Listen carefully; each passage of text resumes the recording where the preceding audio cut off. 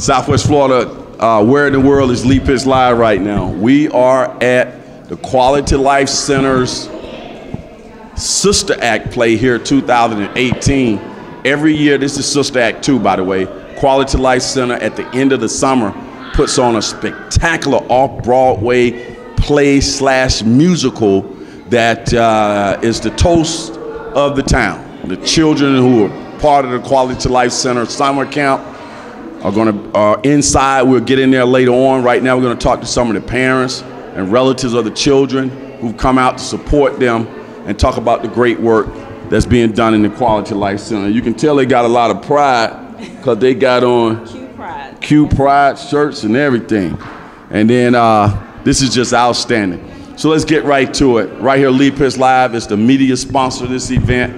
And we come out here every year and cover it from end to end. Nobody else comes out and covers the Q like Lee Pitts Live. And I'll tell you why. Because nobody else cares about these children in the community like Lee Pitts Live.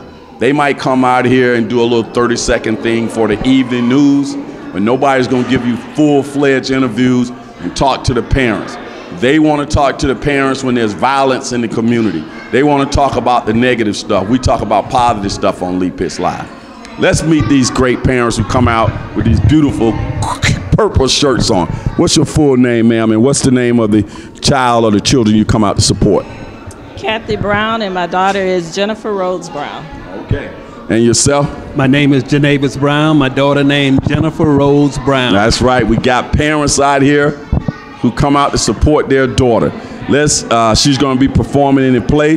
Did she perform last year? Yes, she did. What? How did she? What, what was that last year? What was the name of that play? Was that Annie? Annie. Yeah, yeah. Annie. Huh? Cinderella was last year. Annie before that, and then Lion King. These things get better and better. We Well, can't keep up with all can't that. keep up with 'em. Let's tell us a little bit about your daughter. How old is she? What school she goes to? My daughter is uh, 12 years old. No, 11 years old. She'll be 12 August the 24th. And uh, she goes to Cypress Lake uh, Middle School. Uh, are you proud to see when you're sitting there in the audience? What's what goes through your mind watching up on that stage? Oh man, it's very proud because she plays in the band. She danced with the Q. I mean, she is very talented. I love it. Now the Q uh, gives these children exposure to a whole lot of things. How does that make you feel as a parent to know that your daughter is getting exposed to a lot of things? She, I love it because she's getting exposed to a lot of positive things that she might not even get to see. She's meeting different kinds of leaders in the community, so she can see more than just the violence going on in our neighborhoods. When you think about the Q and when you dropped your child off there every day or send her to the Q, do you feel this certain sense of this is a great place for my child to be? Yes, because she is my only child, so I feel like she is absolutely safe. Because anybody that knows me, I don't leave her everywhere. Okay. Now the um, the let's go back to the play. Uh, you have you seen her at home rehearsing, and what is she going to be doing on stage tonight? She's in the student scene, and she's also doing one of the dance with the 10 and 11 year old groups. So she's all excited about it because she loves to practice it. I love to hear that. Let's go back over to Dad. Dad, I'm sure you got a chance to see Miss Keisha at work.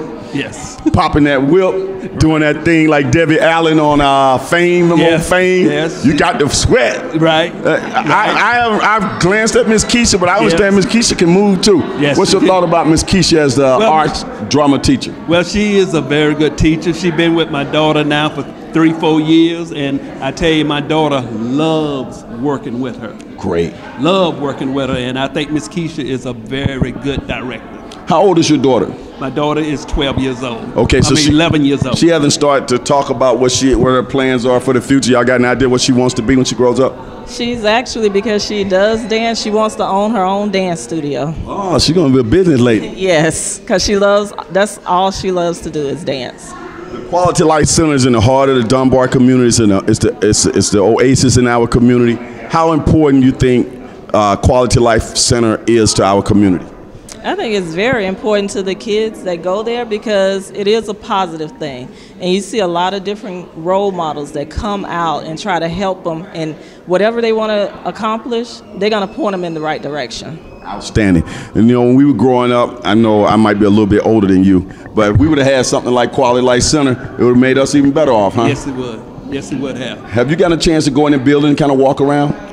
Uh, you got some thoughts about overall? yes, it- I've been upstairs to see their dance uh, performance art uh, part of the uh, building, and uh, it's really nice. got a chance to talk to Abdul Haq Muhammad? Oh yeah. What's your thoughts on him, the director? Well, he he he's great. That's Uh-huh. all I can say. He's great. okay, Mr. Muhammad, say a little bit more about him. Mr. Muhammad, he is like the heart of the Q because he's a very positive person and he pushes you to do anything and he Always got a smile. always got a smile. How you doing, sister? How you doing, brother? Yes, and knows your whole name. He remembers everybody, doesn't he? Yes, he does. It makes you feel like he's your uh, your best friend, Yes, and you like, you might not see him but once every five months, and he's still, how you doing, bro? You got time and hug and everything. He's a special person. Yes, he is. Just so you guys know, when the Quality Life Center first started back in the 90s, I used to be a member of the board of directors. Okay. And Muhammad and I were really good friends. Some of you probably know me as the swimming instructor back then, and I uh, ran the swimming program for the Quality Life Center. Okay. Muhammad, I'm shouting you out as well. Well, parents, it's been great for you guys to come. And uh, one final question: Are you excited about tonight? And what? What? Tell our TV audience what's going to happen on that stage tonight. You ain't gonna see nothing but greatness from all the kids there. Always a, a great play. Yes, always a great play. Are you excited as well? I'm very excited, and I want to see a lot of applause, and I want to see the stadium full. There you go. It's going to be full. We're at Dunbar High School right here in the heart of Fort Myers, Florida. If you're looking at us around the country, Fort Myers, Florida is off the Gulf of Mexico in the southwest corner of the state of Florida. This is Lee Pitts Live, and we're just so thrilled to bring you this event. We'll be right back.